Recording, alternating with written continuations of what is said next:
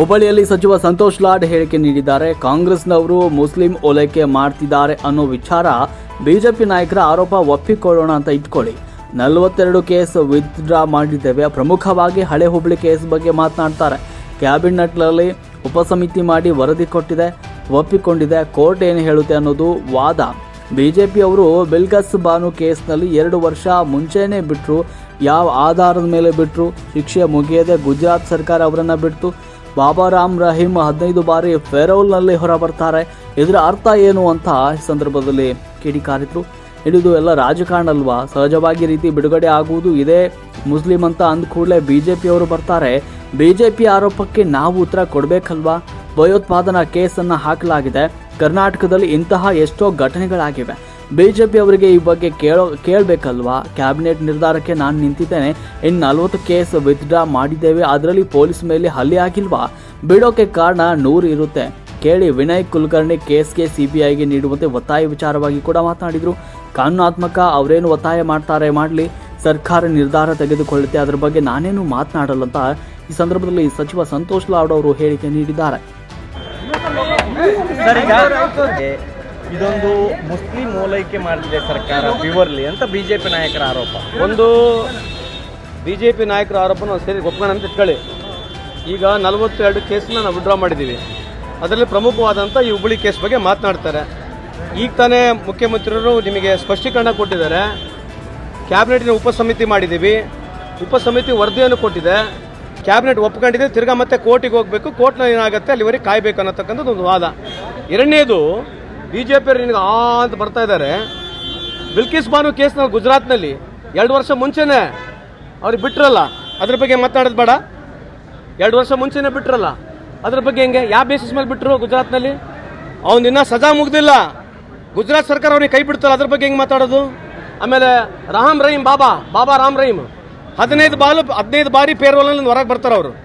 ಯಾವಾಗ ಯಾವಾಗ ಎಲೆಕ್ಷನ್ ಇದೆ, ಅವಾಗ ಮಾತ್ರ ಪೇರೋಲಿಂದ ಹೊರಗೆ ಬರ್ತಾರೆ. ಇದರ ಅರ್ಥ ಏನು?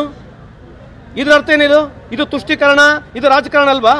ಅವ್ರ ಮೇಲೆ ಕೇಸ್ ಹಾಕಿರ್ತಕ್ಕಂಥದ್ದು ಕೇವಲ ರಾಜಕೀಯ ದೃಷ್ಟಿಯಿಂದ ಅಂತ ಹೇಳಿ ನನ್ನ ಅಭಿಪ್ರಾಯ. ನನಗಿರ್ತಕ್ಕಂಥ ಮಾಹಿತಿ. ಸೊ ಅದಕ್ಕೆ ಯಾವ್ಯಾವ ಈ ರೀತಿ ಇದೆ?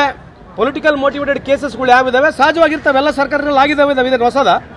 ಆಗಿದೆ. ಅದು ಕಾನೂನಾತ್ಮಕವಾಗಿ ಸರಿ ಇದೆಲ್ಲ ಚೆಕ್ ಮಾಡಿ ಕ್ಯಾಬಿನೆಟ್ ಸಬ್ ಕಮಿಟಿ ವರದಿ ಸಲ್ಲಿಸಿದೆ. ಅದ್ರ ಮೇಲೆ ವಿ ಆಕ್ಟೆಡ್ ಅಪಾನ್ ಇಟ್ ಅದನ್ನೆಲ್ಲ ಬಿಟ್ಕೊಂಡಿದೆ. ಎಲ್ಲಿಯೋ ಮುಸ್ಲಿಂ ಅಂತ ಒಂದು ಬರ್ತದೆ. ಜೆ ಬಿಜೆಪಿ ಬರೋದು. ಬೇರೆ ಇಲ್ಲಿ ಬರಲ್ವಾ ಅವ್ರಿಗೆ? ಮತ್ತೆ ಬಿಲ್ಕಿಸ್ ಬಾನು ಕೇಸ್ನಲ್ಲಿ ಗುಜರಾತ್ನಲ್ಲಿ ಮಾಡಿದ್ರೆ ಅವಾಗ ಯಾಕೆ ಮಾತನಾಡಿಲ್ಲ? ಹದಿನೈದು ಬಾರು ಅವನು ರೇಪಿಸ್ಟ್ ಅವನು. ಯಾರು? Ram Rahim is a rapist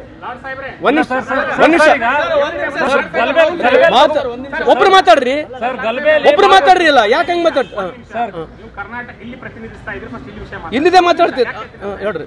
ಹಳೆ ಹುಬ್ಬಳ್ಳಿ ಗಲಭೆ ಪ್ರಕರಣದಲ್ಲಿ ಹೌದು. ಪೊಲೀಸರು ತನಿಖೆ ಮಾಡಿದ್ದಾರೆ. ಹೌದು. ನಾಲ್ಕು ಸಾವಿರ ಪುಟಗಳ ಚಾರ್ಜ್ ಶೀಟ್ ಪಟ್ಟಿ ಸಲ್ಲಿಕೆ ಮಾಡಿದ್ದಾರೆ, ಮಾಡಿ. ಯಾವನ್ ಕಲ್ಲು ಹೊಡೆದ ಯಾವನ್ ಗ್ಲಾಸ್ ಹೊಡೆದ ಯಾವನ್ ಪೊಲೀಸ್ ಆಫೀಸರ್ ಮೇಲೆ ಅಲ್ಲೇ ಮಾಡಿದಂತ ಹೆಸರುಗಳನ್ನ ನಮೂದಿಸಿದ್ದಾರೆ ಹೌದು. ಪೊಲೀಸರು ಕೊಟ್ಟ ತನಿಖಾ ವರದಿ ಇಟ್ಕೊಂಡು ನೀವು ಸಬ್ ಕ್ಯಾಬಿನೆಟ್ ಸಬ್ ಕಮಿಟಿ ಅಲ್ರಿ.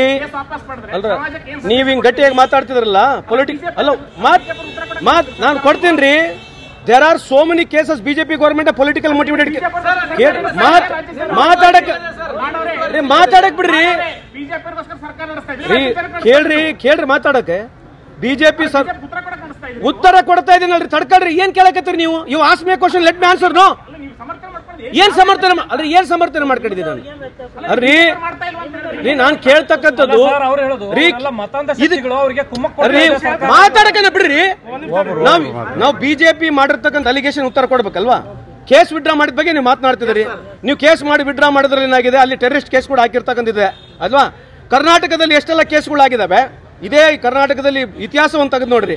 Why only for this terrorist case ಬಂತು?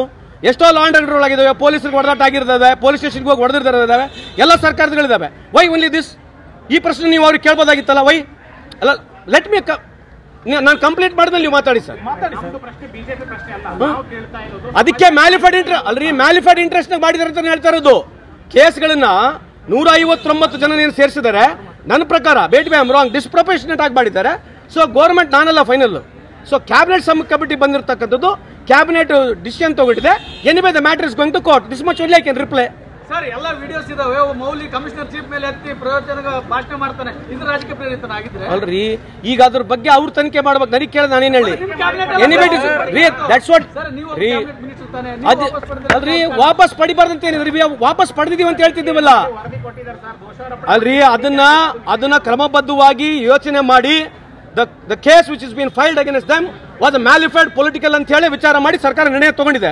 ಅದ್ರ ಮೇಲೆ ತಿರ್ಗಾ ಪ್ರಶ್ನೆ ಕೇಳಿದ್ರೆ so we stand we stand we what stand we stand by what I stand by I taken by what cabinet I stand by I stand by what cabinet decision has taken ಅಲ್ಲ sir ಈಗ ಅಲ್ರಿ ಈಗ ಇದ್ ನೀವು ಇದೊಂದೇ case ಬಗ್ಗೆ ಅಲ್ಲ ಇದೊಂದೇ ಕೇಸ್ ಬಗ್ಗೆ ನೀವು ಮಾತಾಡ್ತೀರಿ ನೈತಿಕತೆ ನೈತಿಕತೆ ಅಂತಂದ್ರೆ ಅಂದ್ರೆ ಅಲ್ಲ ತಡ್ರಿ. ಅಂದ್ರೆ ಇನ್ನೊಂದು ಅಲ್ಲ ಇನ್ನೊಂದು ನಲ್ವತ್ತು ಕೇಸ್ ಅಲ್ಲ ಇನ್ನೊಂದು ನಲ್ವತ್ತು ಕೇಸ್ನಲ್ಲಿ ಪೊಲೀಸರ ಮೇಲೆ ಅಲ್ಲಾಗಿಲ್ವಾ ಈಗ ಇನ್ನೂ ನಲ್ವತ್ತು ಕೇಸ್ನಲ್ಲಿ ಪೊಲೀಸರ ಮೇಲೆ ಅಲ್ಲೇ ಆಗಿಲ್ವಾ? ಯಾಕೆ ಇದ್ರ ಬಗ್ಗೆ ಕೇಳ್ತೀರಿ? ಇನ್ನ ನಲ್ವತ್ತು ಕೇಸ್ ವಿಡ್ರಾ ಮಾಡಿದ್ರು ಅದ್ರ ಮೇಲೆ ಪೊಲೀಸ್ ಅಲ್ಲೇ ಆಗಿಲ್ವಾ? ನೀವು ಅದನ್ನ ನೀವೇ ಕೇಳ್ತಿಲ್ಲ. Why are what asking that alright why are in alright alright ನಾನು ಹೇಳ್ತೀನಿ ಪರ್ಟಿಕ್ಯುಲರ್ ಒಂದ್ ನಿಮಿಷ ರೀ. ನೀವು ಪರ್ಟಿಕ್ಯುಲರ್ ಆಗಿ ಒಂದೇ ಕ್ವಶನ್ ಕೇಳ್ತಾ ಇದ್ರಿ ಅಲ್ರಿ ಹೇಳ್ತಾರ ಅದೇ ರೀ ಬಿಡ ಕಾರಣ ರೀ ನೋಡ್ರಿ ಬಿಡಕ್ಕೆ ಕಾರಣಗಳು ನೂರಿರ್ತವೆ ಅದನ್ನ ನೀವು ಕೇಳ್ರಿ.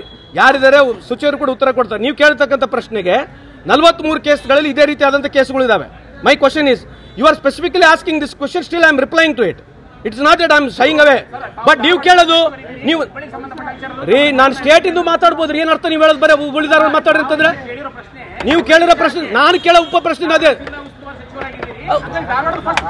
ಕೊಟ್ಟು ಕೊಟ್ಟಿವಲ್ರ ಅದಕ್ಕೆ ಉತ್ತರ? ಅದೇ ನಲ್ವತ್ತಿನ ಬಿಟ್ಕೊಂಡು. ಯಾಕೆ? ಅದೇ your you can ask any question which you want ಅಲ್ವಾ?